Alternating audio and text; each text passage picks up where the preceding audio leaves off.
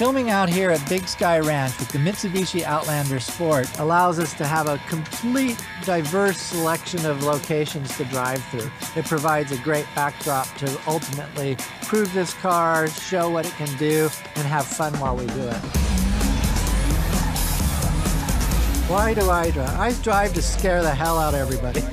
the passion for racing really drove me to go into directing. One fed the other. Racing and directing and photography is all one big world for me. And cutting.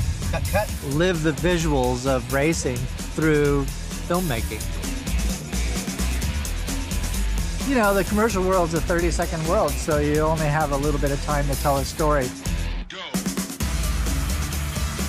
The idea is these guys are working against the clock. So as soon as that door opens, the clock starts. And when they hit the beach, the clock stops. So it's a race against the clock to get there before sunset.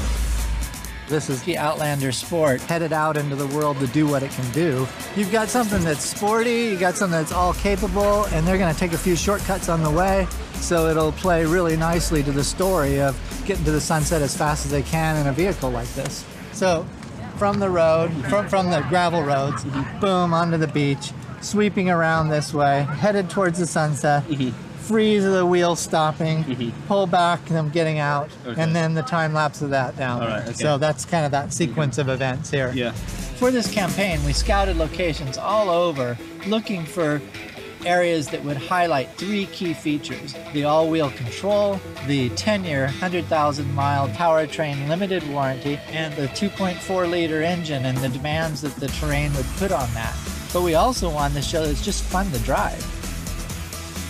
So much of my racing's been against the clock, so make your drive a sport. The idea behind this commercial was really appropriate. It really is sport by nature. Okay, action, action.